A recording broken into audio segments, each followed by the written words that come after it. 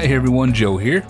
Well, today I want to show you how you can use the Orton Effect tool inside Luminar to really help improve your portrait photos. So we'll be getting this photo here from this photo here. So let's hop in here and get started. Okay, well I already have a photo here opened up. Uh, here it is of you know, Rosemary and everything. This is the photo that we're going to be editing. So first thing I'm going to do is actually go ahead and open up my workspace. Already have a lot of these uh, tools and stuff already uh, put on uh, what I want to use inside my workspace. If you want to learn how to customize your workspace, I'll put a link for that tutorial up in the cards. But that said, let's go ahead and start doing some retouching to this photo here.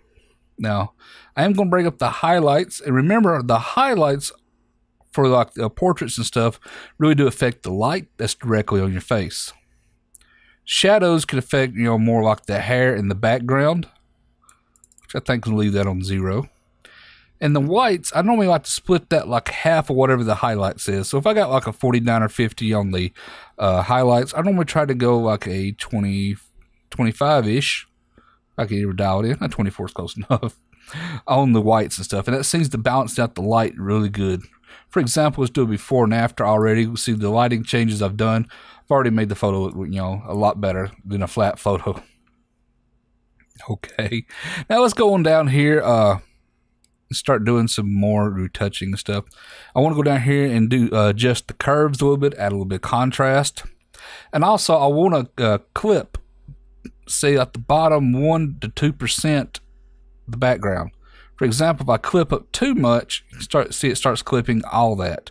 And I don't want to clip a whole lot, just enough about right there. Just barely clip it, just enough to kind of clip in the background. Like I said, that's like the, the bottom one to two percent.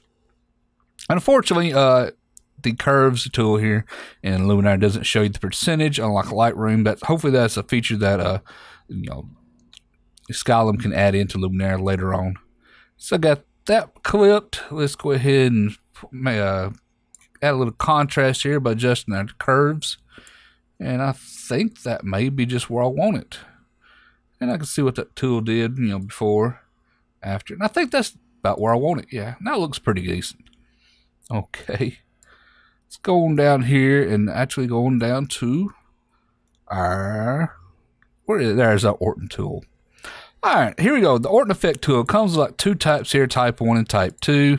Each one of them does just a little bit different. There's type 2, you know, there's type 1, and you get to choose which one you want to use.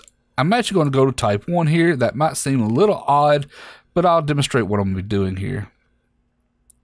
Now, for the type 1 here, uh, see if you go up real strong, and let's zoom in on the skin stuff here, is it gives a nice glow, kind of a separation but we can see it adds way too much more contrast than what we really want here. So let's zoom out right here. So I'm going to uh, pull that back down quite a bit. And I'm going to put it, pull it up around 40. Yeah, I think about where I want it. But I'm going to drop the contrast on it here. Now I can drop that. I want to pull it down to say somewhere close to zero. Maybe down just a little bit more. No, I think about negative four on it. Just drop that in your contrast by negative four. Then if I need to, I can also brighten up the face and stuff some more here by pulling the brightness slider. I don't want to go too much. Let's see what it does with before and after on that Orton tool. There's without it. There's with the Orton tool. You can say the Orton effect makes your photos look a lot more dreamy and stuff. And it can also be used in other photos and stuff, not just portraits.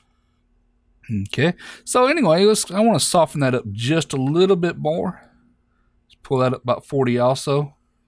Make that skin look a little bit softer. Let's see, if without it and with it. And all let's do so far, this is like a before and after. As you can see, just these few changes and stuff have really brought this photo out quite a bit.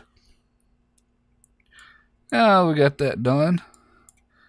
Well, let's see here. Getting on about pretty good here. I think the only thing we need to do now is actually do some uh, retouching around the eyes and stuff because, you know, allergy season, eyes, you know, need to be adjusted a little bit here. Let me pull this around. Now to do this, we're actually going to pop on another layer, and I'm going to go to a new uh, added adjustment layer.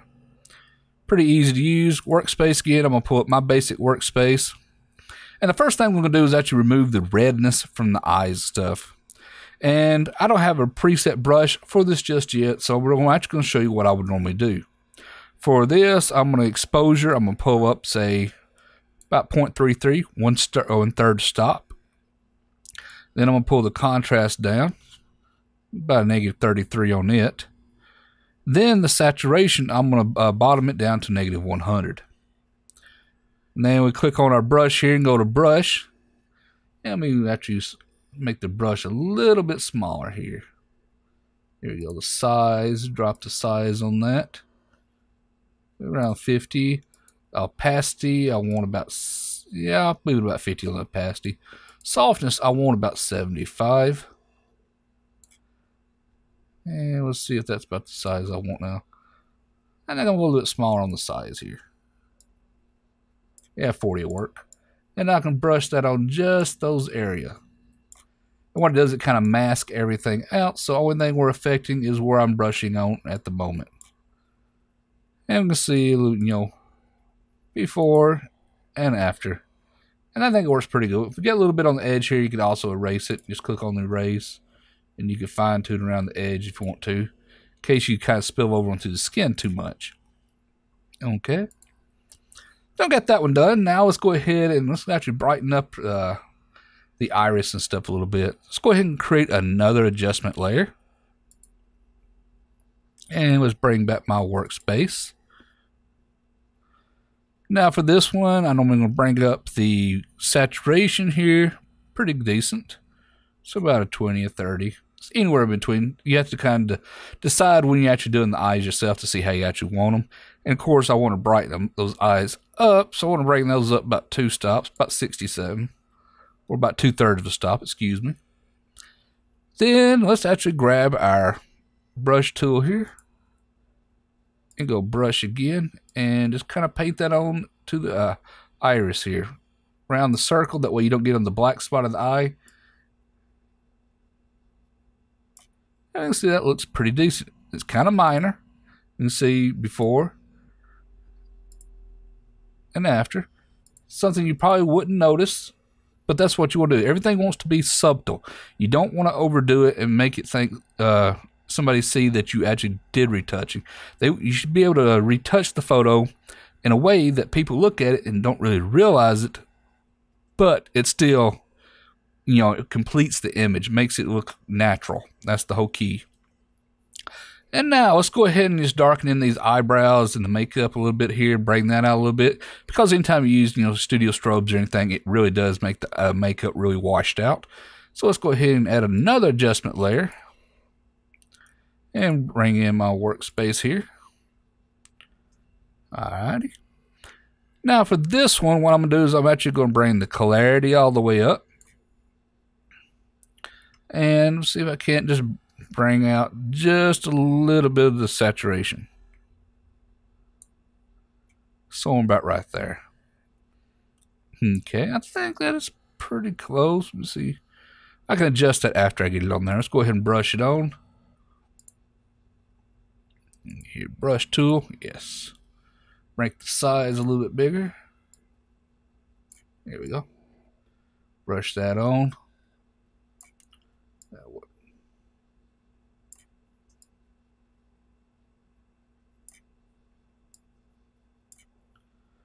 Make the size a little bit smaller.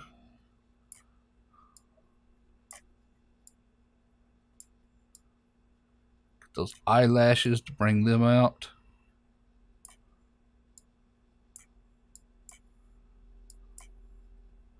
And like I said, we can adjust it to however we want it to look as natural as possible. We can even adjust the exposure if we need to. I don't think I'm going to need to on this photo though. Let me see here. Might want to bring out uh, see here what I want to bring out. The clarity is already pretty high. Bring out just a little bit of the highlight.